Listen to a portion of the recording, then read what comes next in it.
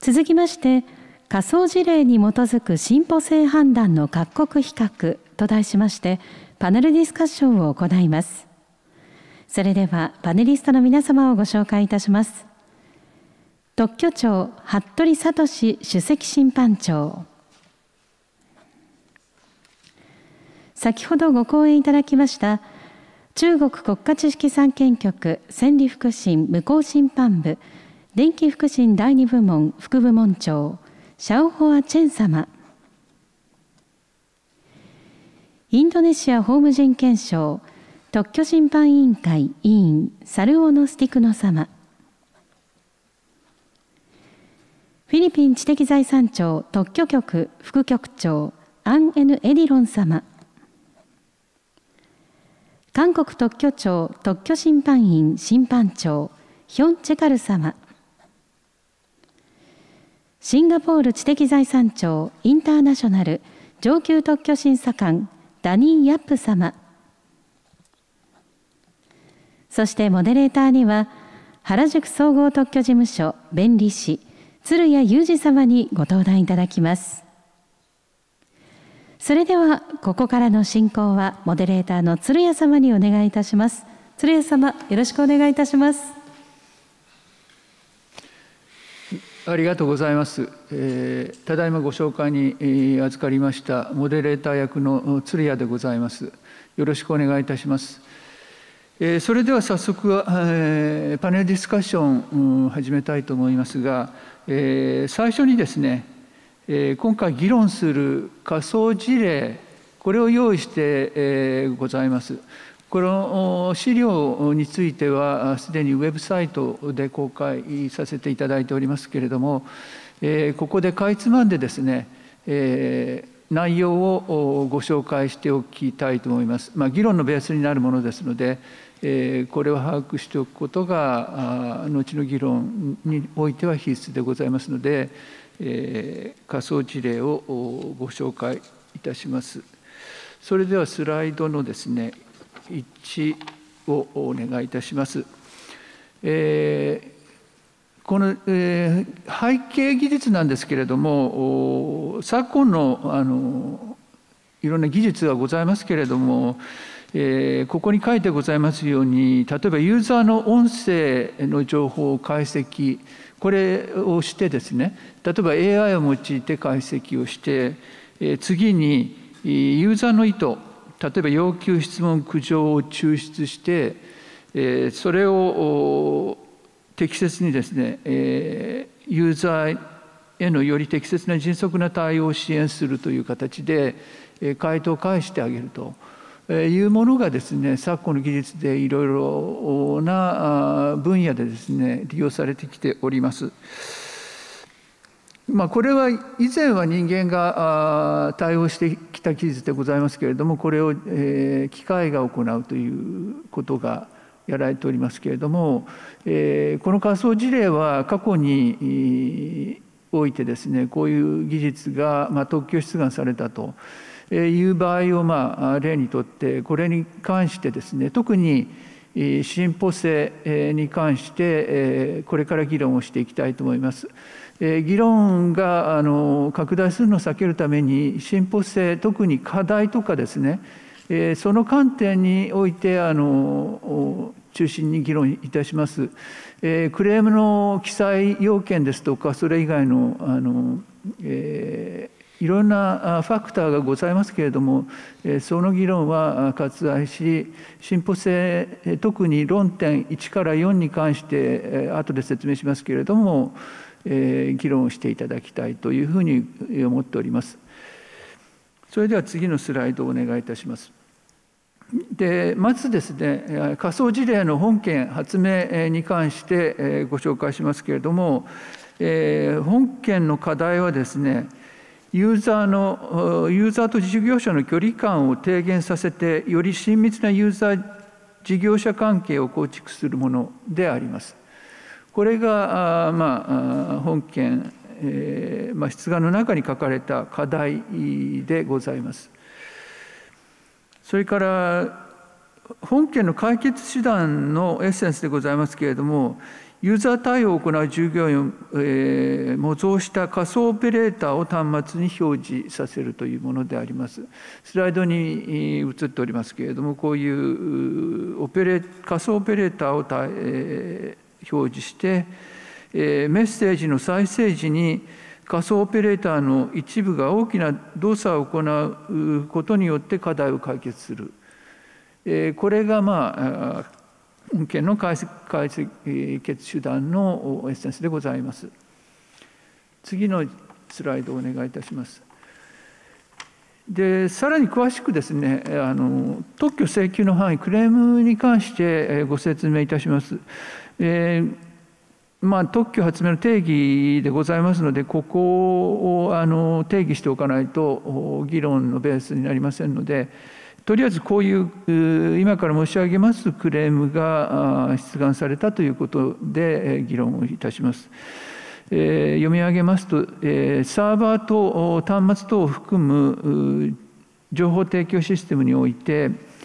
前期サーバーは前期通信端末から送信されたユーザーの音声情報に対応する回答メッセージあるいは回答メッセージを特定できない場合には問い合わせメッセージを全機通信端末に送信しということでサーバーがですねこういうメッセージに関するやり取りをするということでございます。で通信端末がつながっておりまして、前期通信端末はユーザー対応を行う作業員を模造した仮想オペレーターを表示するように構成され前期回答メッセージ前期問い合わせメッセージを再生する際前期回答メッセージ、前期問い合わせメッセージを再生しないときと比較し、前期仮想オペレーターの一部が大きな動作を行うように、前期仮想オペレーターを表示する、情報提供システムというものでございます。まあ、これがクレームに書かれているというふうに認識いただきたいと思います。次のスライドをお願いいたします。で続いてですね先行技術文献が提示されているという前提となっております。で先行技術文献1がですねこのスライドに書かれているものでございます。まずユーザー音声質問に対し文字及び音声のみで応答する対話型処理システムであって、通信端末はスマートフォンなどの携帯電話タブレット端末であって、えーまあ、そういうものであります。で本件発明の課題先ほど申し上げましたけれどもユーザーと事業者間の距離感を低減させてより親密なユーザー事業者関係を構築することに関しては記載がされていないと。え、いうことになっております。でかせ、えー、かつ仮想オペレーターを表示することの記載もありませんと。まあ、こういうあの、えー、第一の文献が発見されたということでございます。次のスライドをお願いいたします。で今の文,、えー、文献1の発明をですね、えー、認定いたします。えー、まあ、の全体を総括して認定をしたものがここに書かれております読んでみますとサーバー部とユーザー端末等を含む対話型処理システムにおいて前期ユーザー端末装置からユーザー音声質問を前期サーバー部に送信し前期サーバー部は前期ユーザー音声質問に対応する想定回答または聞き返し質問を前期ユーザー端末に送信し前期ユーザー端末装置は前期想定回答または前期聞き返し質問を音声出力し操作表示部に表示する対話型処理システムというものでございます。次のスライドをお願いいたします。で本件発明と今申し上げました第一の発明文献の発明との一点をここで確認したいと思います。まず1点ですがここにスライドに書かれておりますようにサーバーと通信端末を含む情報提供システムにおいて、前期サーバーは前期通信端末から送信されたユーザーの音声情報に対応する回答メッセージ、あるいは前期回答メッセージを特定できない場合には、問い合わせメッセージを前期通信端末に送信し、えー前期通信端末は前期回答メッセージ、前期問い合わせメッセージを再生する情報システム。の点で、えー、本件発明と文献一発明は一致するという認定でございます。次のスライドお願いいたします。で次に本件発明と第一文献発明との相違点についても確認してみます。相違点はここのスライドに記載されております。本件発明は通信端末においてユーザー対応を行う従業員を模造した仮想オペレーターを表示するのに対し文献一発明は仮想オペレーターを表示しない点これが第一の相違点でございます。それに伴い本件発明は前期通信端末において前期回答メッセージ前期問い合わせメッセージを再生する際前期回答メッセージ前期問い合わせメッセージを再生しない時と比較し仮想オペレーターの一部が大きな動作を行うように前期仮想オペレーターを表示するのに対し文献一発明はそのような特定がない点で相違すると言えます。これが相違点として認定されているということでございます。でさらに、え、次のスライドをお願いいたします。えー、次の文献文献2がさらに提示されておりましてこれをご紹介いたします。えー、この文献にはですね、えー、ユーザーの音声入力に対応する応答を行う複数の応答システムが通信端末を介して利用可能な構成が前提となります。まあ、複数のオートシステムが関与しているということでございます。で通信端末はナビゲーション装置に関するものであります。えー、ただし本件発明の課題先ほどの本件発明の課題はあの記載がありませんということでございます。えー、こういうものが文献にに開示されているということでございます。次のスライドをお願いいたします。えー、でまた文献発明では複数の応答システムが利用可能な状態で各応答システムに対応するエージェント画像を一つの画像に表示しています。えー、ここにあの図がありますようにエージェント A とエージェント B これがですね、えー、まあ複数の応答システムに対応するように、まあ、動くといいますかね、が一つの画面に表示されていると。でエージェントは単純化された動物などのキャラクターであるということであります。それから応答中の応答システムに対応するエージェントが話しているように表示するため口を開くように表示させるものです。えー、文献にではあ話している時にですねこのキャラクターといいますかあこれが口を開いて、えー、まあ喋っていることがわかるというものでございます。次のスライドをお願いいたします。えー、それで、えー、文献2の技術のですね認定をここで行っておりますこのスライドで行っております、えー、文献2にはですねあのこのスライドにありますようにエージェントを表示装置に表示するナビゲーション装置において当該エージェントが話しているように表示するため待機中と比較して回答側センターの応答音声データをスピーカーから出力させる際に該当エージェントの口を開くように該当エージェントを表示するナビゲーション装置というものであります。まあ、ここではポイントとしてはあのエージェントこのキャラクターに該当するものですけれどもこれが口を開くというところがポイントでございます。それから次のスライドをお願いいたします。でさらに3つ目の文献が提示されております。あの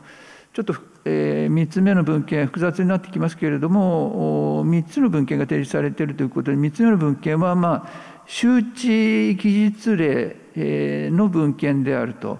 いうことでの位置づけで提示されています。このスライドに記載されておりますように音声対応システムにおいてユーザー対応を行う従業員を模造した人物を静止画として表示するものです。で通信端末は来訪者受付システムの受付端末です。ただし本件発明の課題は記載がありませんということであります。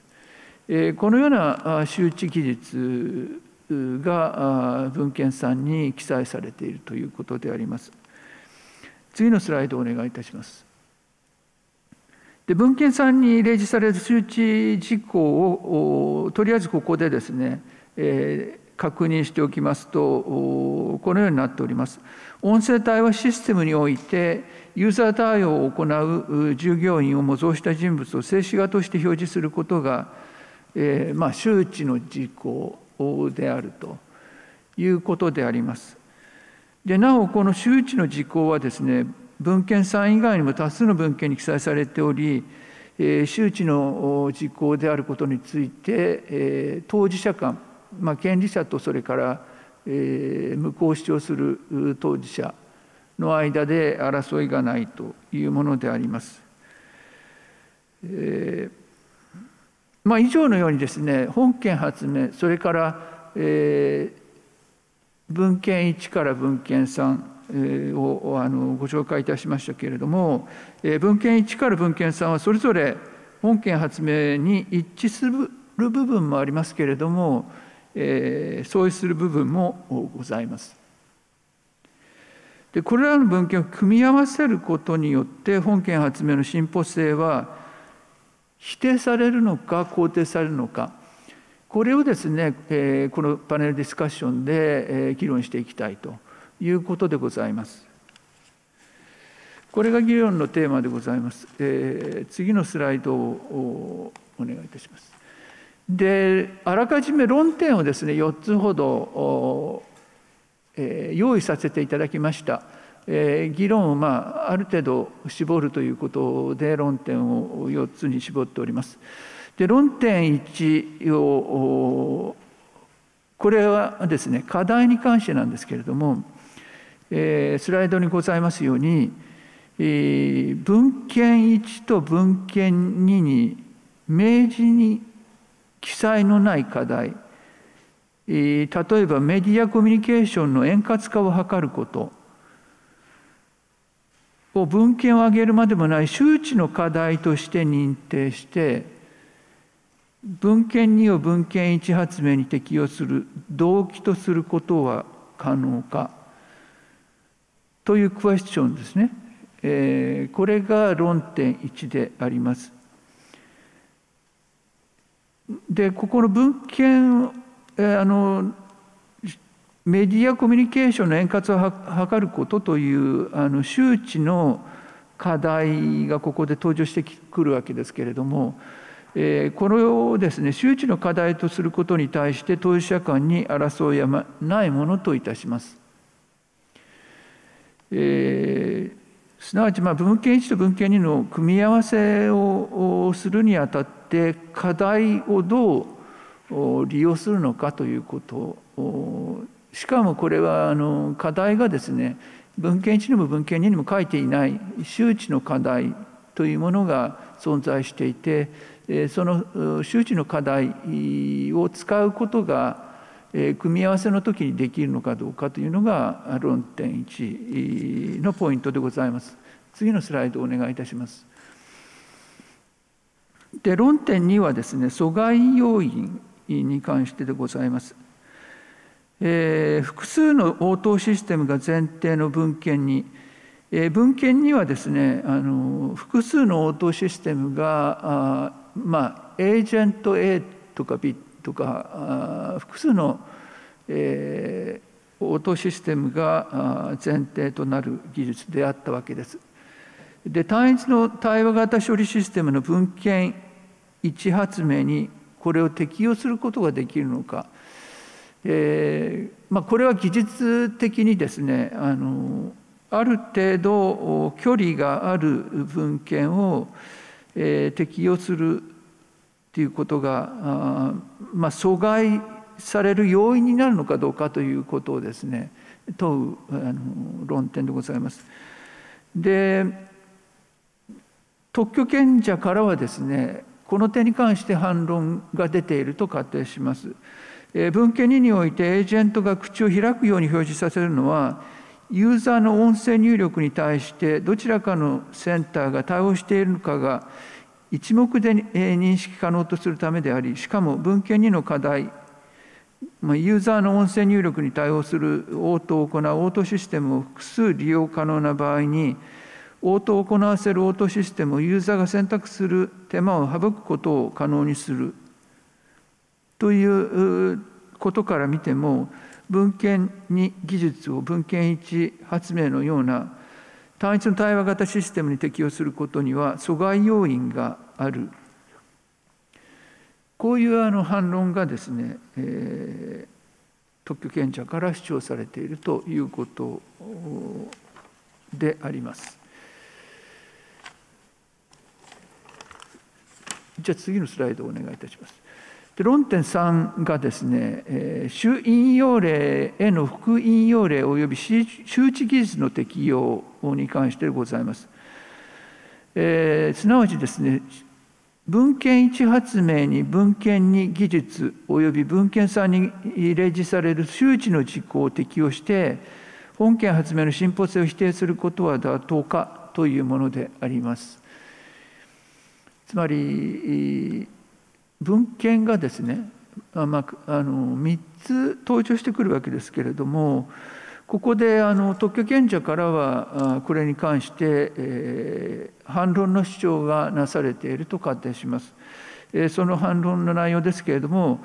文献一発明に文献に技術を組み合わせた上でさらに文献3に例示される周知の事項を組み合わせることはいわゆる容易の容易であり認められずつまり容易の、判断を2回超常的に行っているという指摘でございます。しかも文献に技術は単純化された動物などのキャラクターであるエージェントの口が発言に対応して動作するところ文献さんに例示される周知の事項は静止画として表示することを前提とするものであるから文献に技術に文献3に例示される周知の事項を組み合わせることは後知恵であるとこういう主張が特許権者からなされているというふうに仮定いたします。えーまあ、論点3までちょっと複雑ではあるんですけれどもこういう過程であの論点3つを挙げさせていただきます。次のスライドをお願いいたします。で論点4は以上の論点123を総括して総合的に判断してですね課題阻害要因主引用例への副引用例及び周知の事項の適用の論点を総合的に勘案し本件発明を有効か無効かということをあの問う論点でございます。まあ、最終的な総合的なあの結論といいますか、えー、そういうものの論点でございます。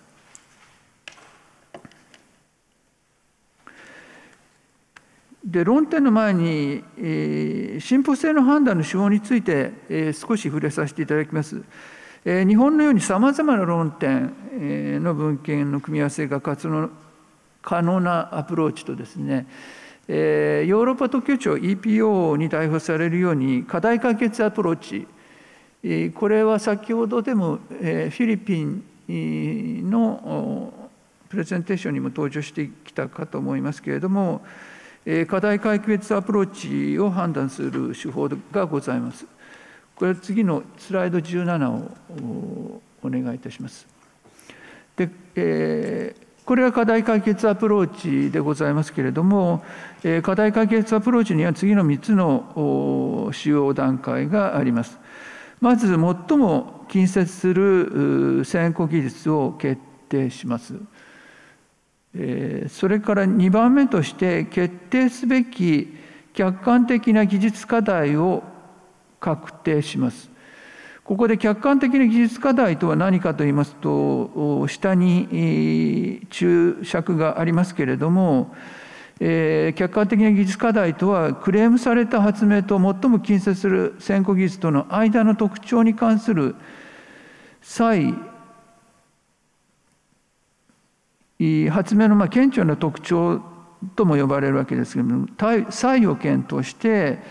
この顕著な特徴がもたらす技術的効果を特定し次に技術的課題を構築するということであります。つまり本件発明とそれからまあ主となる先行技術との間で、えー、比較検討して客観的な技術課題を抽出するという作業が2番目にございます。で3番目としては最も近接する先行技術及び客観的な技術課題から、え着手してクレームされた発明が当該技術の熟練者に自明であったか否かを検討するという手法でございます。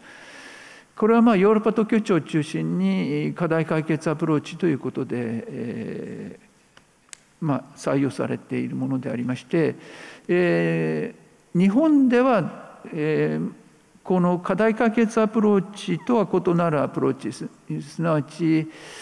えーえー、まああのいろんな観点から総合的に判断するという形のアプローチ課題を検討する、それから阻害要因等を検討するというような、そういうものでございます。えー、したがってアプローチにはまあ、複数のものがございます。それから先ほどのシンガポールのプレゼンにもありましたように、ウィンドサーフィングアプローチというのもございますので、えー、まあ、これに関してあのこれがどの程度差があるのかというのも我々あの把握していかなければいけないということだろうと思います。で、えー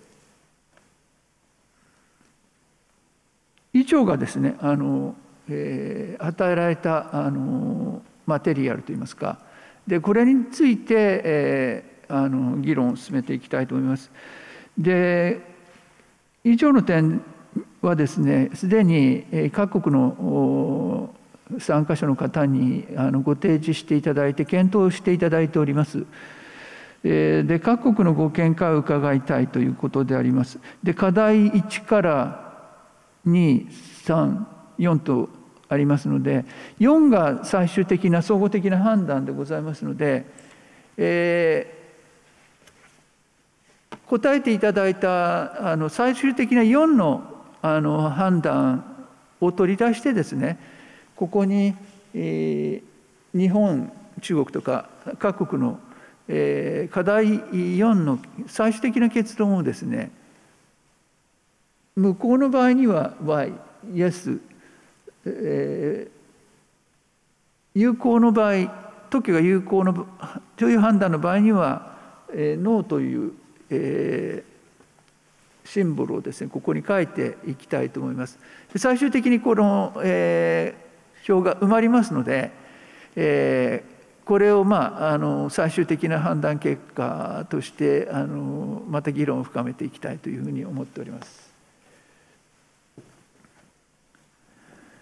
それでは各国ですね5分程度ずつになりますあの手短になるかもしれないですけれども1から4のかあの論点に関して各国のパネリストの皆様からまあ、ご検討結果を伺いたいと思います。まず日本からですね服部鈴木審判長からお聞きしたいというふうに思います。よろしくお願いいたします。はい、えー、ありがとうございます。えー、特許庁審判部首席審判長の服部でございます。よろしくお願いいたします。まあの本事例についてですねあの進歩性の考え方についてご説明したいと思いますがまあの今いただいた各論点のですね回答に先立ちまして、まあ、日本におけます進歩性の判断手法、まあ、これについて簡単におさらいだけざっとしておきたいと思います。まあ、例えばですねあの本事例のように引用発明主たる引用発明に、え、他の引用発明、まあ、あるいは副引用発明とも言いますけれども、まあ、それを組み合わせて進歩性を否定するロジックを考える場合には、えー、技術分野の共通性あるいは課題の共通性あるいは作用機能の共通性といった、まあ、多観点からですね引用発明を組み合わせることが動機づけられるかどうかということを検討いたします。まあ、そしてあの進歩性が否定する動機がある場合動機づけられる場合にはですね、まあ、さらに引用発明と比較して本件発明が優れた有利な効果があるかどうかあるいはその組み合わせを阻害するような事情があるかどうかということを検討して、まあ、それらあまあそれらの効果あるいは阻害要因を進歩性を肯定する要素といいますけれどもまあ、それを先ほどの動機づけと総合的に考慮判断いたしまして、えー、進歩性の有無を判断するという手法をとっております。まあ、要するにですねあの主たる発明引用発明と副引用発明、まあ、これが共通の課題を解決しているかどうかというところが進歩性を否定する動機づけの一つの重要な根拠となるということでございます。まあ、そこでですねあの論点1からですけれども周知の課題に基づいて動機づけをすることができるか進歩性人の否定の動機づけをすることができるかという点でございます。まあ、こちらの回答は Y ということで、えー、動機づけは可能というふうに考えているところでございます。まあ、先ほどのご紹介しましたですね進歩性否定の動機づけの根拠となる課題の共通性ということですけれども、まあ、本事例の場合は、まあ、残念ながら文献1と文献2に共通する課題は明示的には書いてないという前提でございます。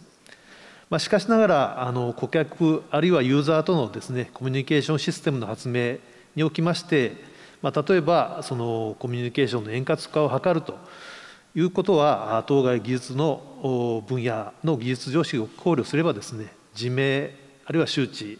あるいは同業者からすればあ容易に着想しうる課題ということが言えると思います。まあ、こうした自明の課題等をですね、あの両発明を引用、両引用発明が共通しているというふうに認定し共通の課題として有しているというふうに認定してこの共通の課題をもとにですね、引用発明の組み合わせの動機付けを遂行するということは可能だというふうに考えております。それから次に論点の2つ目でございます。まあ、こちらはあの文献2がですね文、文献2の技術が複数の応用システムの存在を前提していると。まあ、これがあの組み合わせの障害になるかという点でございます。まあ、こちらもですね、えー、適用は可能、まあ、障害にはならない、えーと、イエス・ノーで言いますと、イエスと、えー、適用は可能だというふうに考えたいと思います。まあ、文献にはですね、あの確かにもう複数のシステムを使用したあるいは複数のエージェントが表示されるものを区別するということを意図している技術ではありますけれども、まあ、それぞれのエージェントの表示、まあ、それと表示について、えー、動かすというふうに工夫することと、まあ、これが複数あるということは必ずしも技術的に不可分、うん、分けられないものではないというふうに考えます。まあ、従いまして、えー、文献2からですね一つのエージェントについて表示を工夫するという技術を抽出することは可能だというふうに考えます。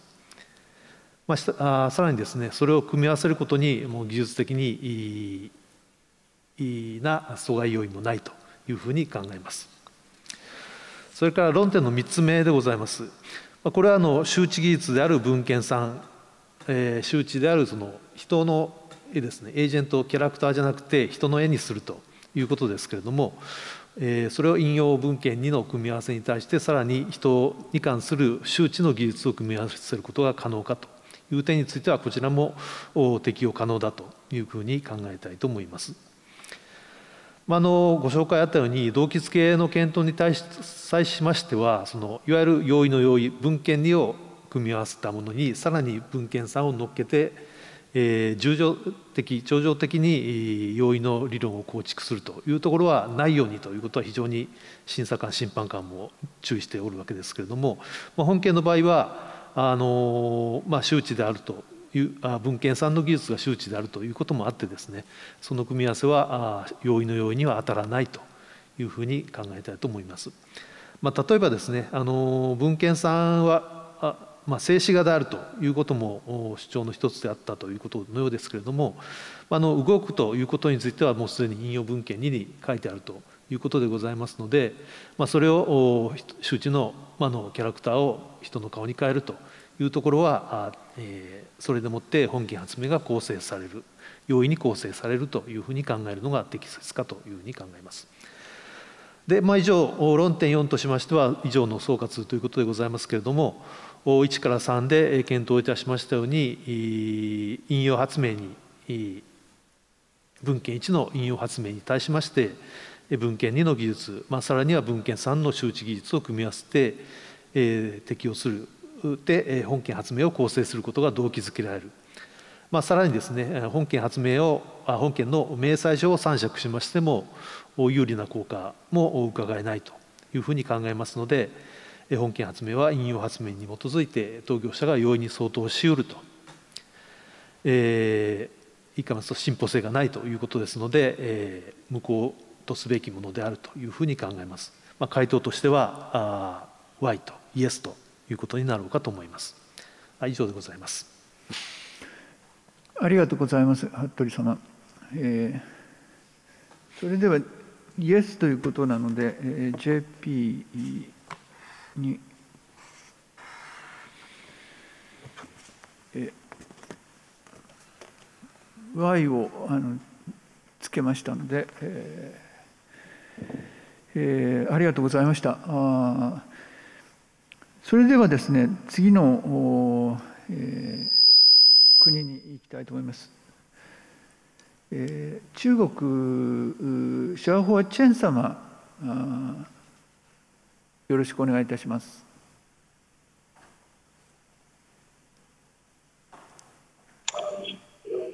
Okay, I want to answer the question one by one.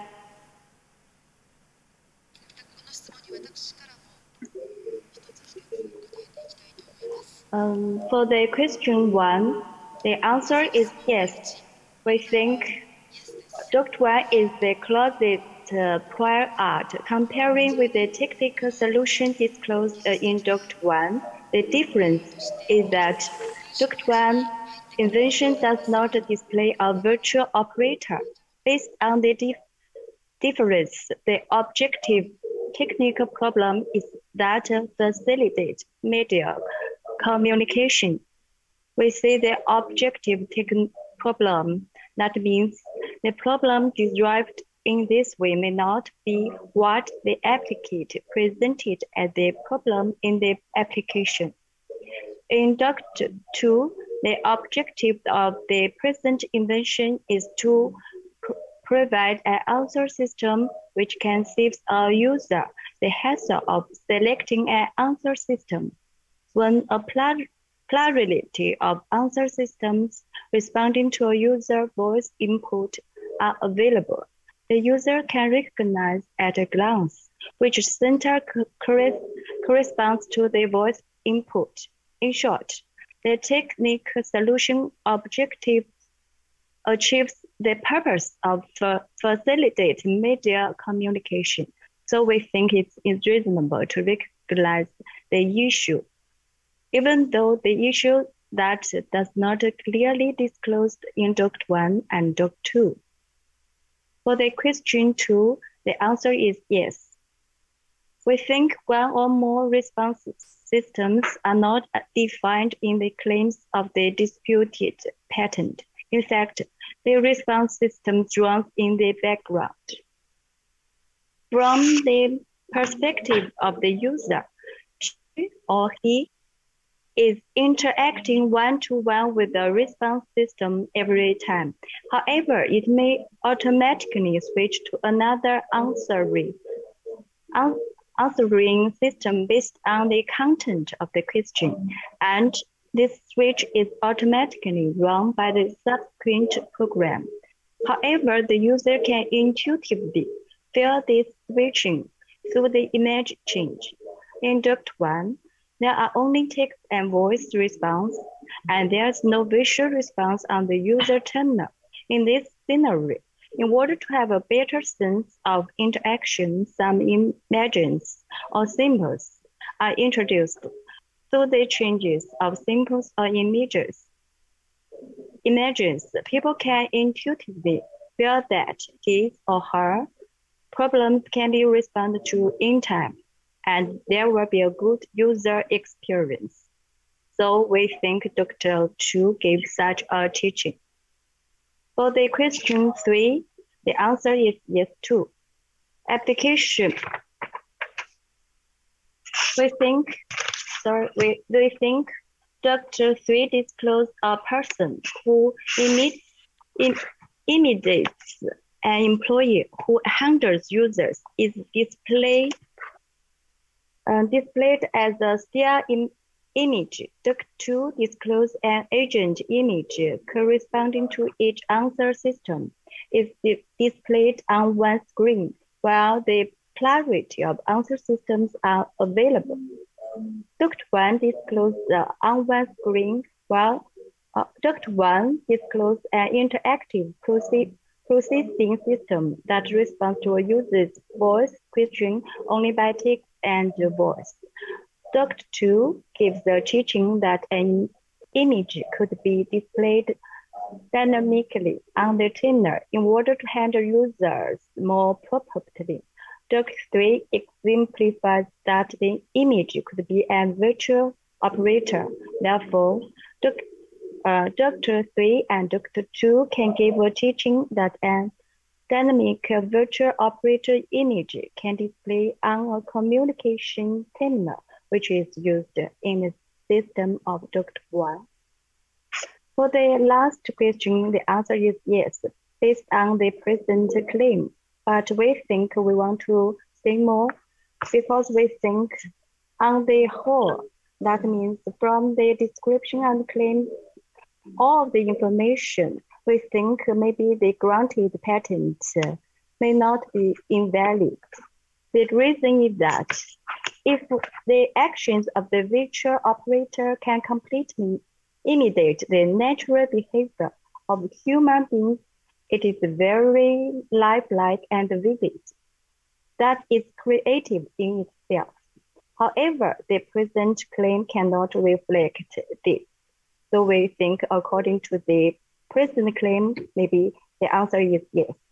But I think, in addition, the system in the granted patent can actively the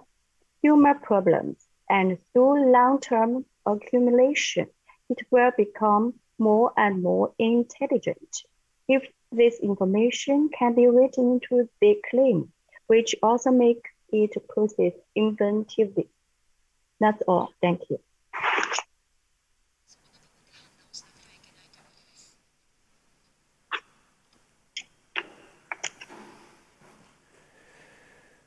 チェン様、ありがとうございました。えー、最終的な結論としては、Y ということでございますので、えー、Y、yes. okay、Y をつけさせて、えー、いただいております。えー、個別的な議論は後でさせていただきますが、最終的な結論をここに記載させていただきます。ありがとうございました。それでは次にインドネシアのサルボノスティクノ様よろしくお願いいたします。Thank you for the time. Let me uh, share uh, a small polling uh, between the member of appeal committee, patent appeal committee, there is a 14% uh, among the 20 members of patent committee. The most of the participant is uh, patent examiner. So the conclusion of the first problem,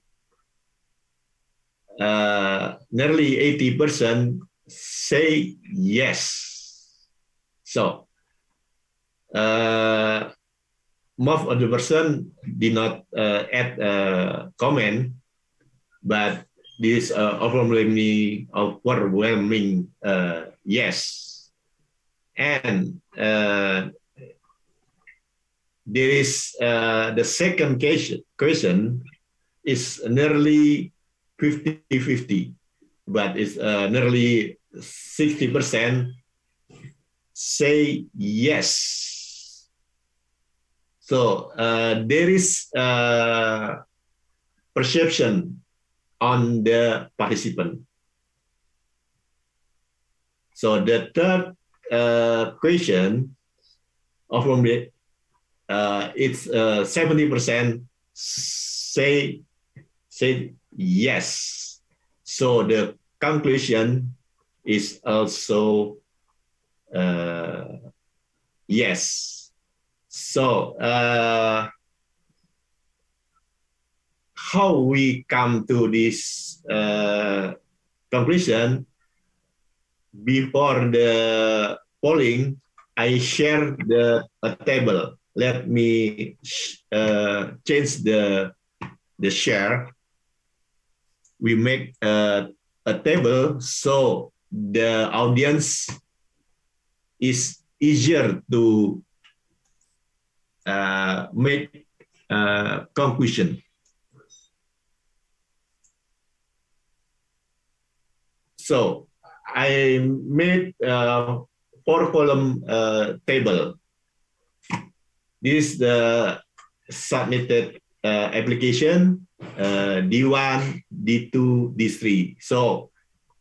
uh, audience can see uh, with uh, visual what is the, the difference between four column. So the back, background art is uh, written there. So also the problem to be solved, especially the, the fourth column, the D3, it's not explicit, uh, explicit the problem uh, that will be uh, solved with the, the patent. So we also make uh, the visual picture so the audience will easier to comprehend the four uh, column. Okay, so the our conclusion, the patent is not invention. So thank you for the time.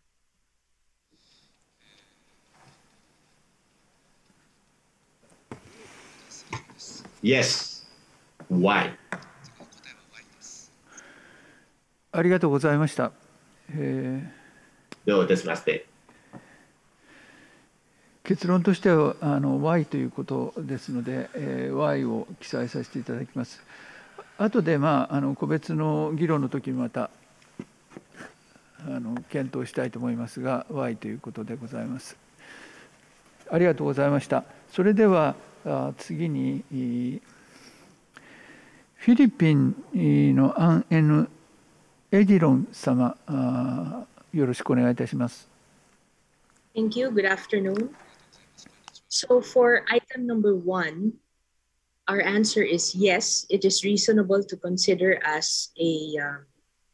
well-known issue or problem, one which is not explicitly disclosed in the prior art, so that the a person skilled in the art is prompted to put together the prior art to solve a well-known problem. Since a person skilled in the art by definition is not only presumed to have at his disposal explicit and implicit teaching suggested by cited references, but also he has at his possession common knowledge in that field so here, the field would be of wireless voice response communication technology.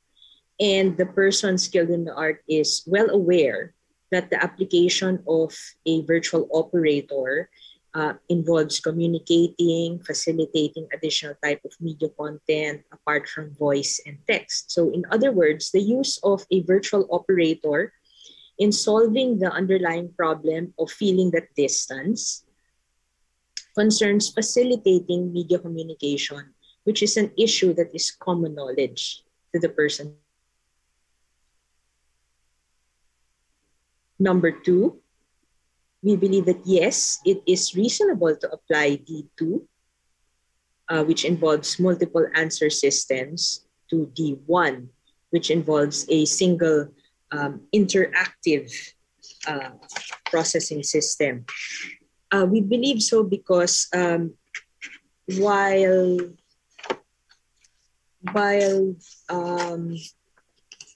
but it, it's reasonable to apply the two together because uh, D2 not only concerns the same field of wireless response system, but also suggests that the use of a virtual operator or agent image can provide a solution to the underlying problem in the patented invention. Also, while D2 involves um, a, a multiple answer system, while D1 involves a single interactive system, incorporating the virtual operator of D2 to the system of D1 does not is, is not considered as a teaching away, uh, but appears to be a, a straightforward modification related to the use of the D2 virtual operator to solve the problem in D1. Um, so since both D1 and D2 not only relate to the same field of technology, but also teach the problem and solution in the state of the art, the person skilled in the art will have motivation um, to add these two together to come up uh, with a wireless answer system defined by the patented invention. As to item number three, the application of a secondary reference and well-known matter to the primary reference, um, yes, it is also allowable. Um, the person skilled in the art in this scenario will start at a wireless voice answer system of D1, let's say. And when he realizes that there is a problem, particularly the feeling of distance between users and the business operator, in building and since it affects, you know, a business uh, client relationship, the person skilled in the art would find the solution in D2 and adopt the display of agent images by facilitating communication of another type of media content. So D3 now would give the person skilled in the art the idea to change the moving image of animals in D2 into moving images of a person. Therefore, the patented invention, um, but this is kind of skipping into item number four, but the patented invention lacks inventive step uh, for merely involving application of known means or known solutions in the state of the art. So to answer our conclusion is um, the patented invention appears invalid um, because it falls within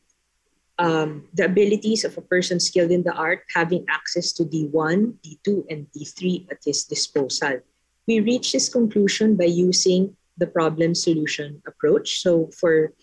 Step one, determining the closest prior art, that is D1, which we consider as the closest prior art because it is from the same field, uh, same technical field, and has more features in common with the patented invention. We have distinguished the difference between D1 and the prior art. So this is the said communication terminal displays a virtual operator for imitating an employee who handles users, wherein the virtual operator is displayed so that a part of the virtual operator has larger movement when the answer message or the inquiry message is played. And then, based on that, the objective problem is to reduce the feeling of distance between users and business operators and build a closer user business uh, relationship by making the communication more engaging. And our conclusion is indeed a person skilled in the art, adding D1 um, we'll only have to adapt the virtual operator of D2 and D3 to solve the underlying problem and arrive at the system claimed by the patented invention. So that is our conclusion that yes, it is invalid. Thank you very much. エジロンさんどうもありがとうございます。えー、結論としてはあ Y ということですので、えー、Y を入れさせていただきました。Yes. どうもありがとうございます。Yes. ありがとう。えー、次に、えー、韓国のヒョン・チェカル様、よろしくお願いいたします。Thank you, Chairman. Uh, for the first discussion point, my answer is yes. The issue to facilitate media communication does not need to ex exemplify literature because it can be expected from the element and their operational procedure in D1 or D2. D1 disclosed speech balloons to communicate between the user and the system in figure 3. This can facilitate media communication. Therefore, it is reasonable that D1 discloses disclosed the issue of facilitating media communication Im implicitly. D2 disclosed animal characters and speech balloons to represent agents and their speaking in figure 3. This can also facilitate media communication. Therefore, it is reasonable that D2 disclosed the issue of facilitating media communication implicitly. In this regard, there's enough motivation to apply D2 to D1. In addition, motivation does not need to exemplify literature because it is not so difficult to combine D1 and D2 if we consider that D1 and D2 belong to the same technical field, and D1 and D2 disclosed automatic communication between a user and server by using voice recognition. For the second discussion point, my answer is yes. The basic idea of D2 is to make a user to recognize easily which center or which agent corresponds to the user by using agent characters. It includes two single interactive communication, not only the, in, inter, uh, the interactive communication between the user and agent A, but also the interactive communication between the user and agent B. In other words, D2 is not teaching away from using one user and one specific agent for, a, for, for a single interactive communication. Therefore, it can be said that applying D2 to D1 is easy to the person in the relevant field. For the third discussion point, my answer is also yes. D2 use, uses characters such as animals to display agent who answer the user's queries and make, make the agent's mouth open while one of agents is answering. D3 uses the image of virtual person to imitate an employee and answers visitors' queries. Even though D2 and D3 use different technologies, voice recognition technology versus telephone technology, they have the same displaying elements, such as imitating, answering part, agent A, and person. Therefore, substituting an animal character in D2 with the virtual person in D3 is only a matter of simple design change. Finally, as explained before, combining D1, D2, and D3 is easy for the person in the relevant field, and they cover all elements in the claim of patented invention. Therefore, the patent, patented invention should be invalid. Thank you.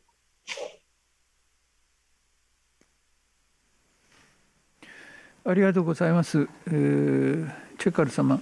えー、韓国においてもイエスということで、えーえー、記載させていただきました。えー、次に、えー、シンガポールのダニ・ヤップ様、よろしくお願いいたします。Thank you, Mr. Chairman. Uh, for the first question, my answer is actually no. Uh, there seems to be two questions here. The first question is Is it reasonable to recognize an issue is well known, even though it's not explicitly disclosed in the prior art? My answer to that is actually yes, it is actually reasonable because the person skilled in the art would have common general knowledge and does not need to depend on whether the issue is explicitly disclosed in the prior art. However, I noticed that the identified issue is to facilitate media communication, and this term appears to be very broad and may not be enough motivation to combine D1 and D2 to arrive at the patented invention. Uh, as you can see from D1, D2, and including the patent itself, these three documents appear to have different aspects of facilitating media communication. And they solve this problem in significantly different ways.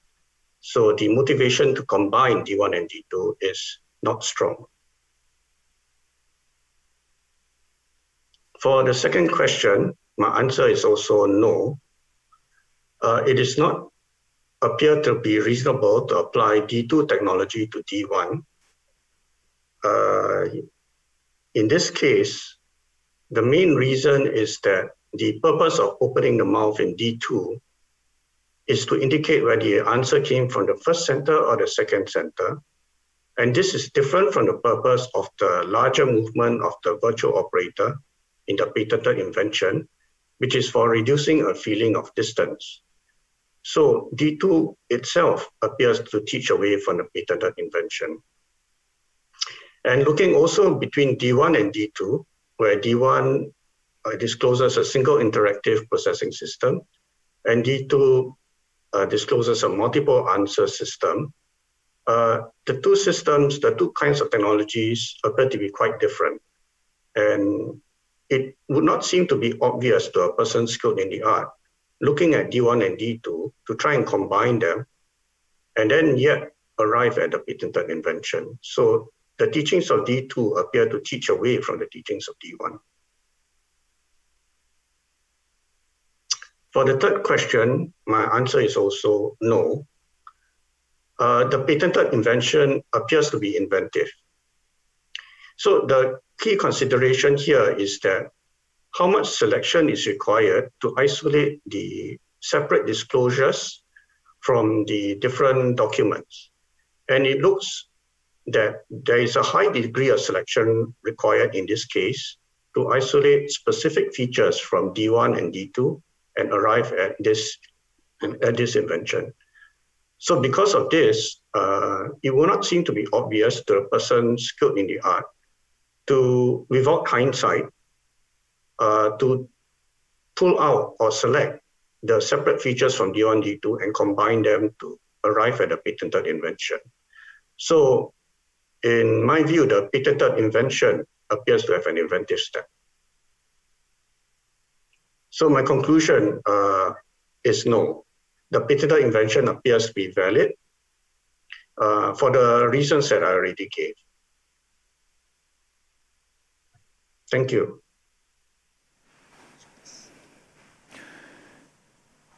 ヨップ様ありがとうございます。えー、シンガポールを記入させていただきますと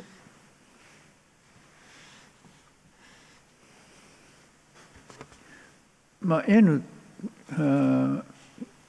出願人にとってはこれはあのフェイバラブルなものでありますので、えちょっと N というのが馴染みにくいかもしれないですけれども有効であるということで、えー、判断されております。ありがとうございました。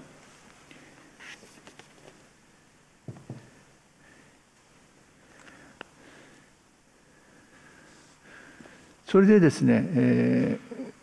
ー、議論を深めていきたいんですけれども、えー、これがですねあの今回の議論で結論が皆同じであればかえってあの議論としてはあの、えー、面白みがないっていうところであります。かなりボーダーライン的な課題をあの提示させていただいておりますのでここで議論が分かれるということが、えー、我々のこの将来にとってのですねあのこうあの知識になっていくこれをあの上位概念化したりあるいは他の判決例とのアナロジーを考えたりする際にもですね今回のあのこれのアウトプットというものが利用されていくんではないかなというふうに思っておりますので議論を少しあのまだ時間がございますので、えー、議論を深めたいと思います。で3つのスペシフィックな課題論点がございましたけれども私としては課題に関しての第一の論点というのは割と、えー、大きな話題かなというふうに思っております。えー、で、えー、まずですね私があの課題に関してですねあのフィリピンのあのエイジロンさんにあのちょっと教えてほしいというところがございます。エイジロンさんのフィリピンでは、えー、ヨーロッパをあの起点とした課題解決アプローチが取られているところでございます。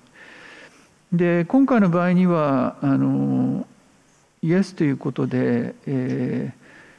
ー、ご回答いただいたんですけれどもそもそもこの論点1がですね、えー、課題解決アプローチを取るあのプロセスにおいて論点1というものが馴染みのある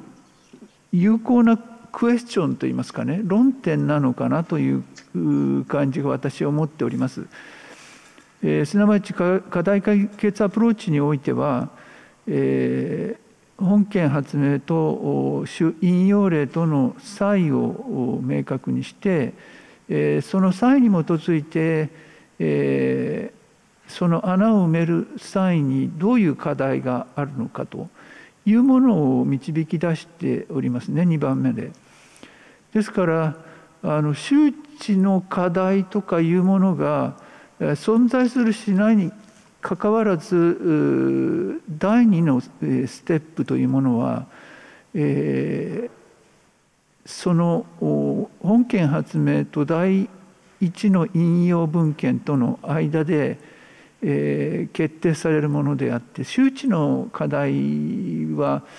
その判断プロセスの中に入ってこないのではないかなと私は思っているんですけれどもまあ結論としてはあの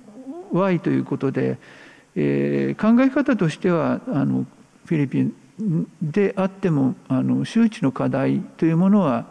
重要視するということは分かるんですけれども課題解決アプローチとの関係でこの論点1が馴染みがあるのかどうかっていうのを、え端的にあの、えー、この質問を投げられた時に違和感があるのかどうかっていうのをお聞きしたいと思います、エディロン様。Um, no, thank you for the question, but no, it was not odd. Um, we always consider a person's well, this the viewpoint of a person skilled in the art as including his knowledge with regard to the art.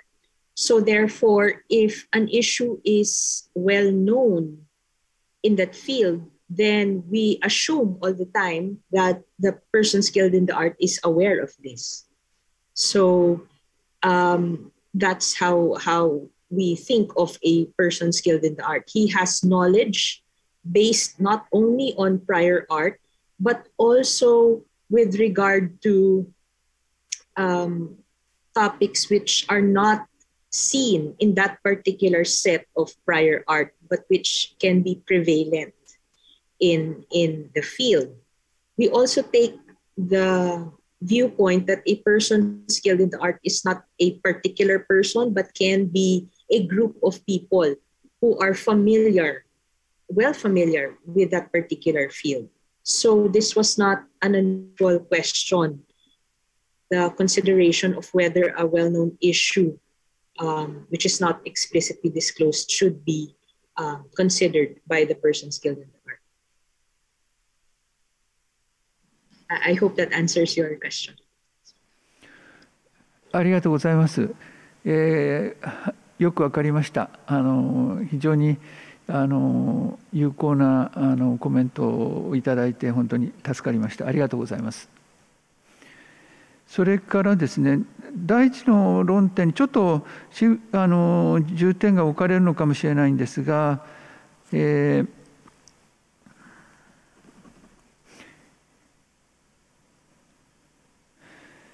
えーとですね、韓国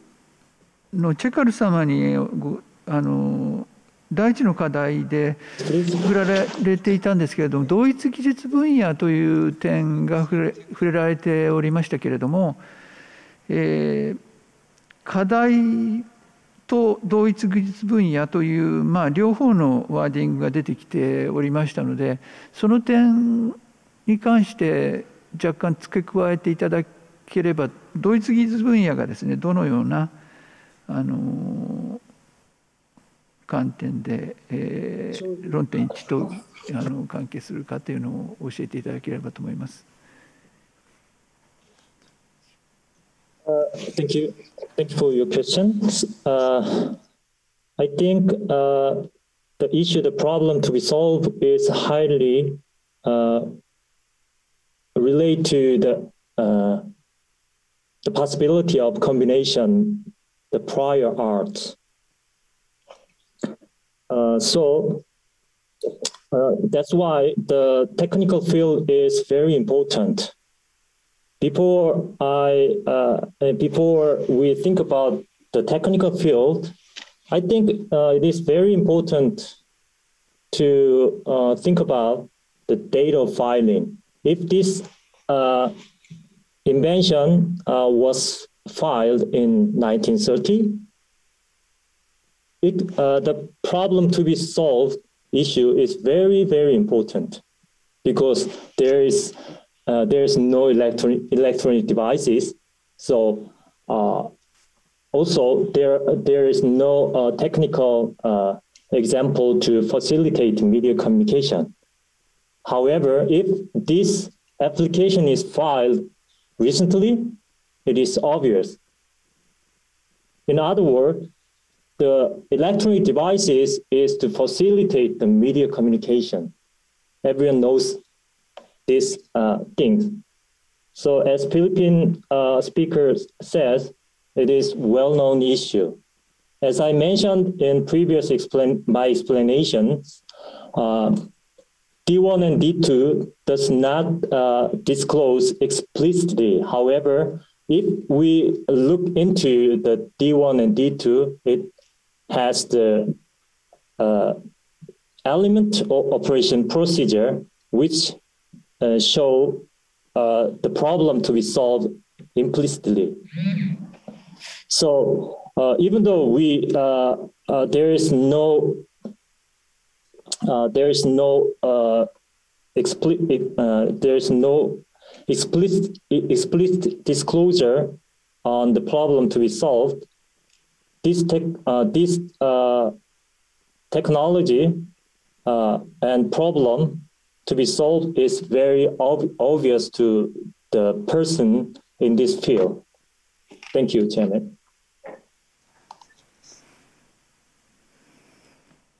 チェカル様、ありがとうございます。えー出願日の論点っていうのも我々なかなかあの、えー、参考になる論点であると思います。えー、時代ごとに進歩していく技術の中で、えー、発明を捉えていくということも非常に重要であるし技術分野も当然勘案しながらあのやっていくということで、えー、判断されていることでございます。ありがとうございました。それから論点1に関してもう、えー、中国のチェン様にもあの一言コメントを加えていただければと思うんですけれども、えー、周知課題周知の、えー、課題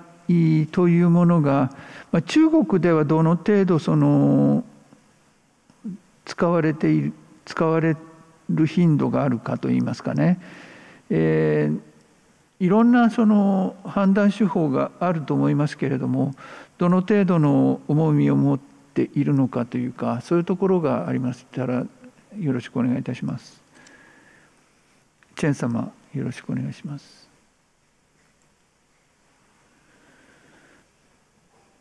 Uh, I, sorry, I,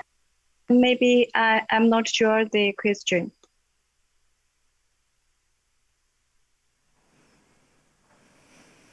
えー、論論点、はい。わかりました。はい。えー、論点1に関して、あのどの程度のあの、重みといいますか、えー、全体的に中国のプラクティスといいますか、あの審査あるいは審判におけるプラクティスにおいて、えー、周知の課題というものが、えー、判断要素として登場してくるっていうのは、まあ、統計的に見た場合にはどんな感じになるのかなというのが私の質問の趣旨でございます。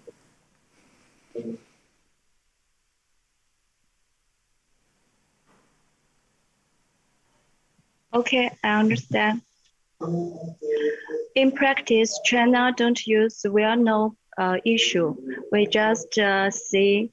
the objective, uh, objective technical problem. Uh, China's way is, is, similar with the EPO's way. We first we uh, we find the closest prior to art and uh, uh, try to uh, determine the difference comparing with the closest prior, prior art and based on the different uh, different information uh, based on the uh, technical facts. We will determine the objective technical problem.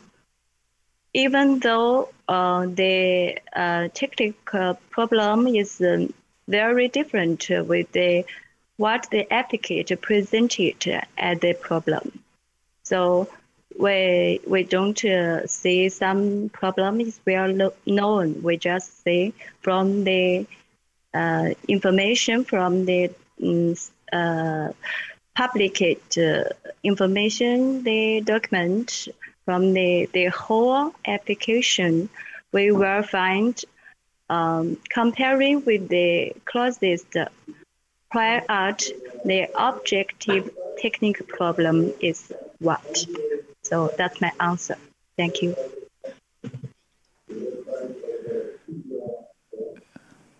チェンさんありがとうございました。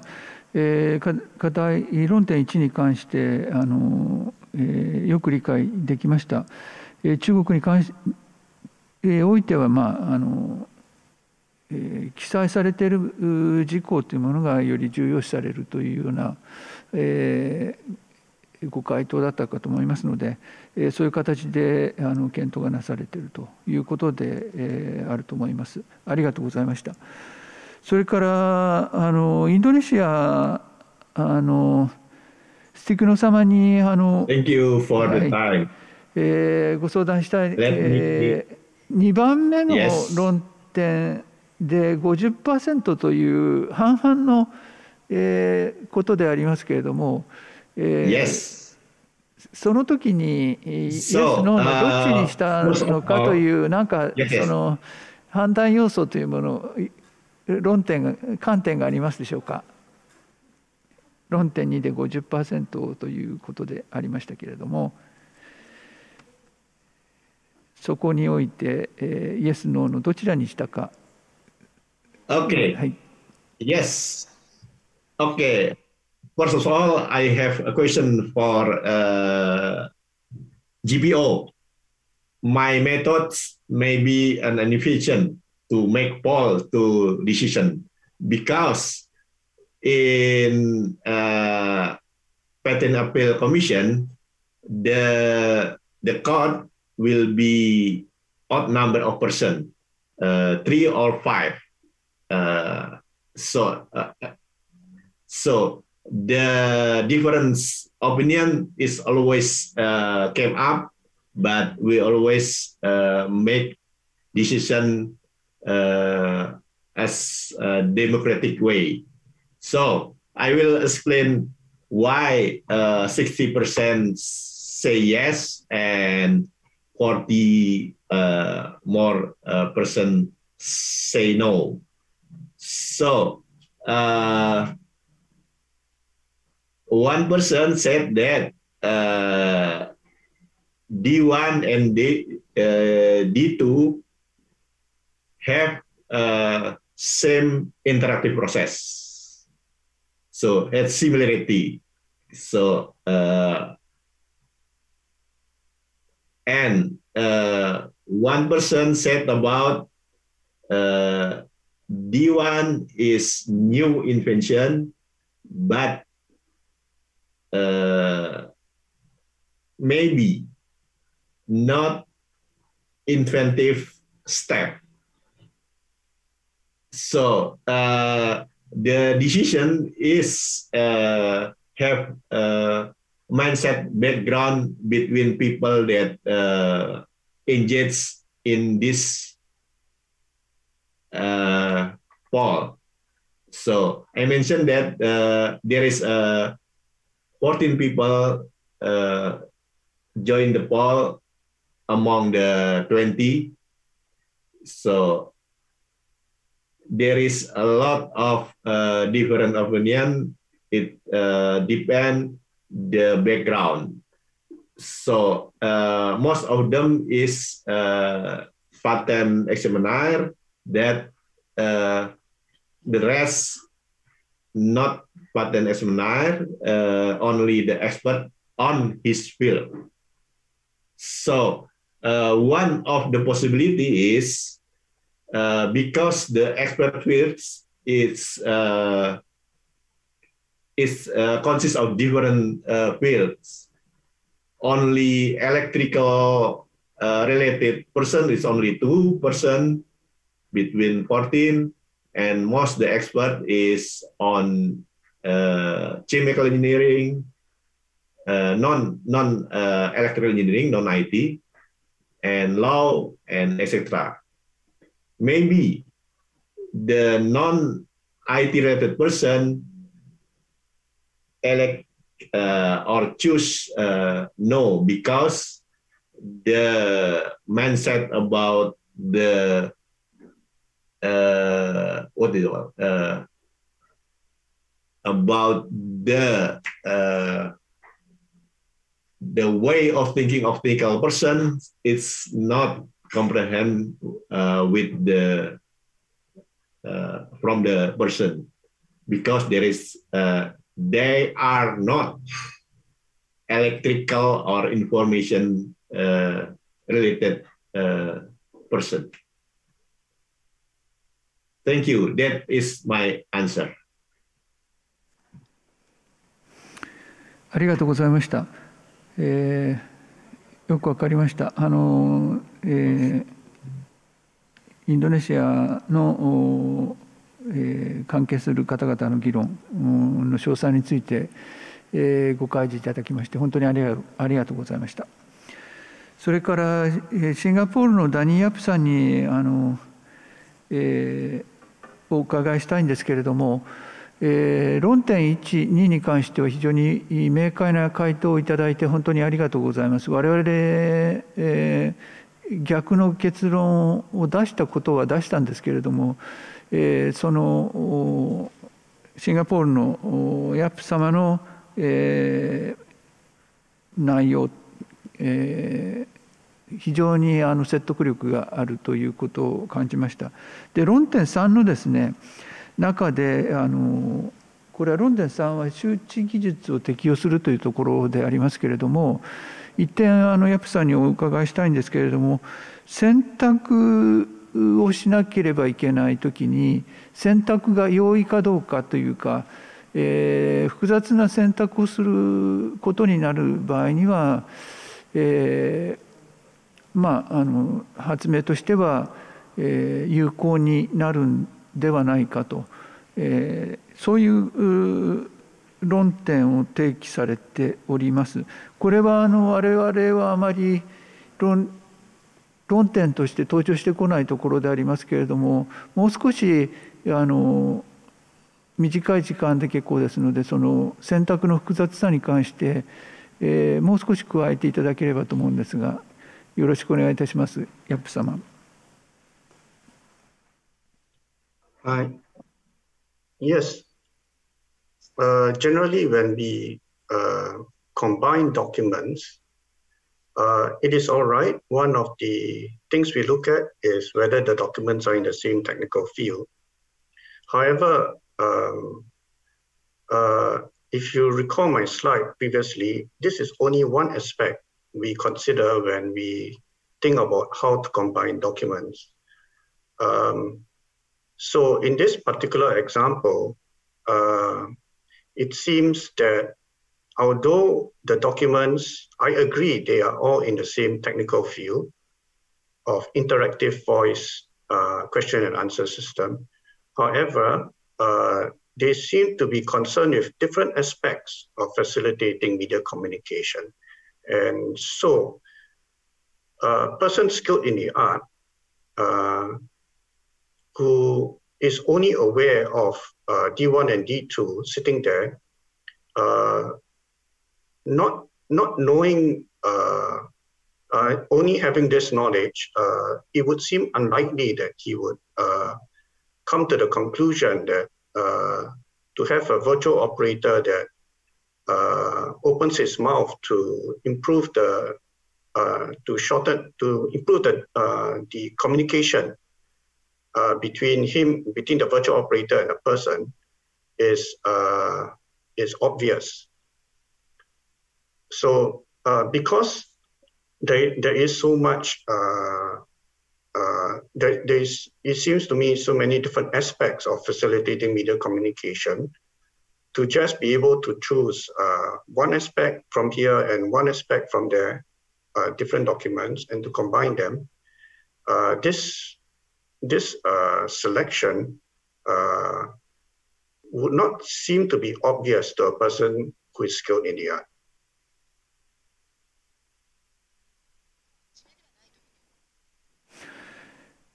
ありがとうございました。選択に関してあの、えー、説明を加えていただきましてよく分かりました。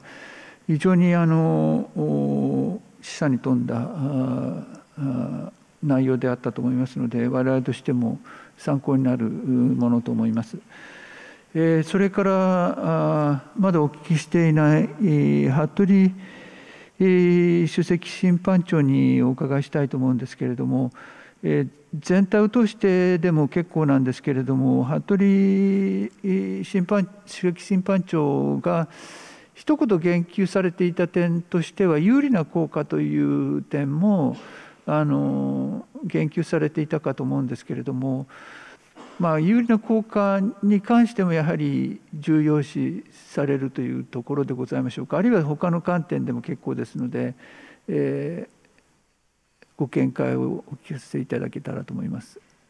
はいあのまあ、効果についてですけれどもやっぱりまずあの動機づけで構成をが良いかどうかというところを考えると。まあ、その上で、えー、有利な効果と参酌した上でその比較考慮といいますか、まあ、そこの総合的な考慮の際に効果を考慮するということでございます。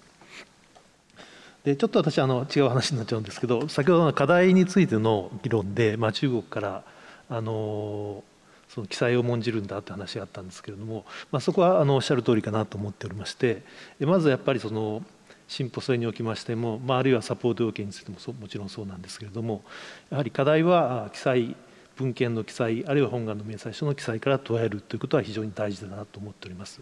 でそれがあること共通の課題明示されている課題があってそれを組み合わせるというところがまあ最善の策ではあるんですけれども、まあ、それがない時にどうするかというところで、まあ、第2の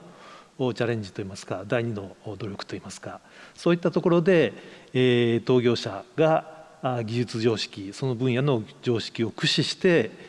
共通の課題を見いだすことがもしできるのであればそれが動機づけの武器の一つになると。いったところがあの今回の説問の趣旨かなというふうに理解しておりました。以上でございます。ありがとうございました。あの、えー時間になってしまいました残り時間がなくなってしまいました議論はまだ続けたいと思いますけれども、えー、これで議論はあの、え、止めたいと思いますが、えー、今回のあのシンポジウム司法立法行政政府機関の方々もあの、えー、主張されていらっしゃると思います。えーそういう方々に対してあるいはあのプライベートプラクティスをされている代理人弁護士弁理士の方々それから最も大切なあの発明者とか企業の方々非常に多くの方々があのここにあの主張されあるいはアーカイブを主張されることになると思いますがその際にですね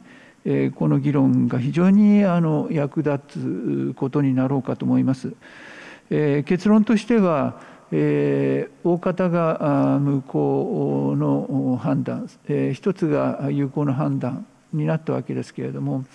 これはもしむしろ好ましいことであって、判断が分かれた時に、これをどうあのそれぞれの主張が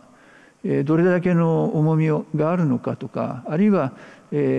海外の考え方を我々も取り入れようという契機になるわけでございますのでこの判断が分かれたということが非常にむしろ重要なことであったというふうに考えております。我々はその判断の分かれた理由をですねもう一度あのあのチェックしてですねえー、さらに我々の、あの判断に取り入れていく。必要なものは取り入れていく。それがあいわゆる、えー、結果の予見性の増大といいますか、えー、特許になるものはなるならないものはならないそれが一国ではなくって世界中で同じ形でえ予見性が向上高まっていくということになるのではないかなと思います。で結論がきちっと予見性が高まった次の段階としてはそのプロセスに関しても、えー、合わせていくということが大事なのではないかなとそういう意味でこの今回の今回のパネルディスカッションというのは非常に有効であったなと私は感じております。えー時間が超過してしまいましたので、これで、え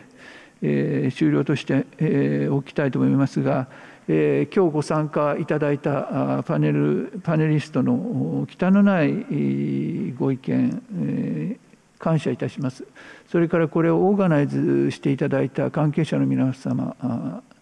えー、感謝する次第であります。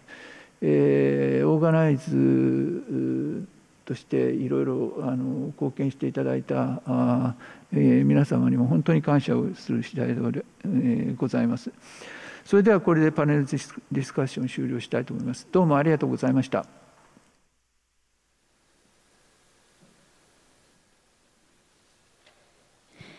ご登壇の皆様ありがとうございました。以上でパネルディスカッションを終了いたします。